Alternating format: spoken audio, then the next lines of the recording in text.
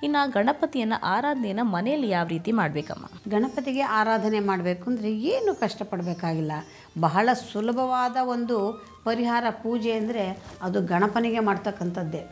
ತುಂಬ ಸರಳ ಅಂದರೆ ನಾನು ಆಗಲೇ ಹೇಳಿದಂತೆ ಕೇವಲ ಒಂದು ಇಪ್ಪತ್ತೊಂದು ಗರಿಕೆ ಹುಲ್ಲು. ಖರ್ಚು ಮಾಡಿ ಕೂಡ ತರುವಂಥದ್ದಲ್ಲ. ಅಂತಹ ಹುಲ್ಲನ್ನು ಕೊಟ್ಟರೆ ಅವನು ವರವನ್ನು ಕೊಡ್ತಾನೆ. ಅದರ ಅಥವಾ ಅದು ಅದು ಒಂದು ಭಾಗವಾದರೆ ಬಿಳಿ ಬಣ್ಣದ ಎಕ್ಕದ ಹೂವನ್ನು ತಂದು ಒಂದು ಸಣ್ಣ ಹಾರದ ರೂಪದಲ್ಲಿ ಮಾಡಿ ಗಣಪತಿಗೆ ಸಮರ್ಪಣೆಯನ್ನು ಮಾಡಿ. ಇವತ್ತು ಸಂಕಷ್ಟಹರ ಚೌತಿ ಇರ್ತಕ್ಕಂಥದ್ದು ಒಂದು. ಈ ದಿವಸ ಮಾಡಿದರೂ ಶುಭವೇ ಅಥವಾ ಮಂಗಳವಾರ ಮಂಗಳವಾರಗಳು ಈ ಎಕ್ಕದ ಹೂವಿನ ಹಾರವನ್ನು ಗಣಪತಿಗೆ ಕೇವಲ ಒಂದು ಮೂರು ಮಂಗಳವಾರ ಹಾಕಿದ್ರೆ ಸಾಕು. ನಿಮ್ಮದು ಯಾವುದೇ ರೀತಿಯ ಸಂಕಷ್ಟ ಇದ್ದರೂ ಕೂಡ ಸುಲಭವಾಗಿ ಪರಿಹಾರ ಆಗುವಂಥದ್ದು. ಇದಕ್ಕೆಲ್ಲ ಏನೂ ಕಷ್ಟಪಡಬೇಕಾಗಿಲ್ಲ.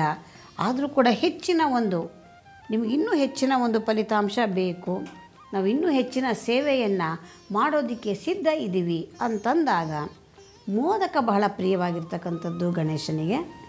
ಆ ಮೋದಕವನ್ನು ಅವನಿಗೆ ಸಮರ್ಪಣೆಯನ್ನು ಮಾಡೋದು, ನಿವೇದನವನ್ನು ಮಾಡೋದು, ಹಾರದ ರೂಪದಲ್ಲಿ ಹಾಕೋದು ಯಾವುದಾದರೂ ಪರವಾಗಿಲ್ಲ. ಇದಿಷ್ಟನ್ನು ಮಾಡಿಕೊಂಡಿದ್ದೆ ಆದರೆ ಗಣೇಶನಿಗೆ ತುಂಬ ತೃಪ್ತಿಯಾಗತ್ತೆ. ಅಥವಾ ಇನ್ನೂ ಒಂದು ಕೆಲಸ ಮಾಡಬಹುದು. ಮನೆಯಲ್ಲಿ ಸಣ್ಣ ಗಣಪತಿ ಏನಾದರೂ ನಿಮ್ಮಲ್ಲಿ ಇದ್ದದ್ದೇ ಆದರೆ.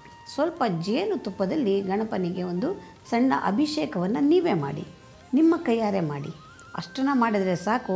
ಒಂದು ಎಂಟು ದಿವಸಗಳ ಕಾಲ ಸತತವಾಗಿ ಜೇನಿನ ಒಂದು ಅಭಿಷೇಕವನ್ನು ಮಾಡ್ತಾ ಬನ್ನಿ. ಗಣಪತಿ ನಿಮಗೆ ಒಲಿತಾನೆ.